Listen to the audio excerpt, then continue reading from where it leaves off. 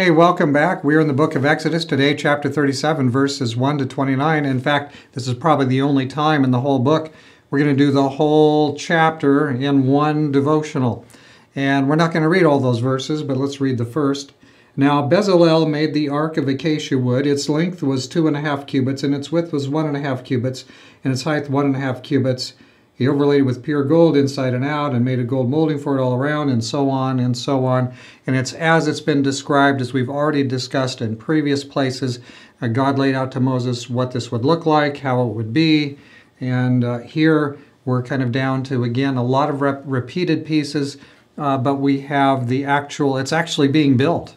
Uh, this is like they're actually doing it. Like, you know, the, Elon Musk talked about this Starship plan. He wanted to make this ship that could travel, uh, take large cargoes to Mars to colonize Mars. But it was just, at one point, it was just talk. But today they're building uh, rocket after rocket and actually launching them. So Musk is kind of in this, uh, this phase, you know, the active uh, building phase of his project. And uh, here we have uh, chapter 37 it's describing the actual building. Uh, what what lessons can we draw from this? Like, since we've already kind of talked about a lot of these pieces in detail before in other chapters. Well, what's interesting here in this chapter, you can read through the whole chapter, and what will you find? That the detailed instructions that God gave, now these are actually being, uh, I guess we could say, actualized. Now they're building it in detail. It's coming out the way that God God designed it and and described it in detail for Moses. And now the craftsmen in the Spirit of God are building it according to that detail that Moses was given. So, what God has called for, God has made possible and equipped the workmen, and now it's happening, it's being done, and it's completed in the way that God said He wanted it to be.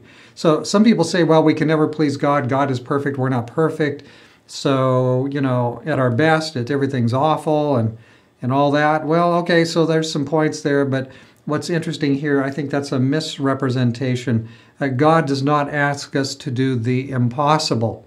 Jesus, the Bible says that through Christ, all things are possible. Friend, through Jesus, you can overcome. You can live God's way. You can please Him. And so here we have an example of that God has called for this to be done. His people now are doing it. And when it's all inspected here, we'll get to that in a few days. Uh, Moses is going to give it, you know, thumbs up. We got there. We're there.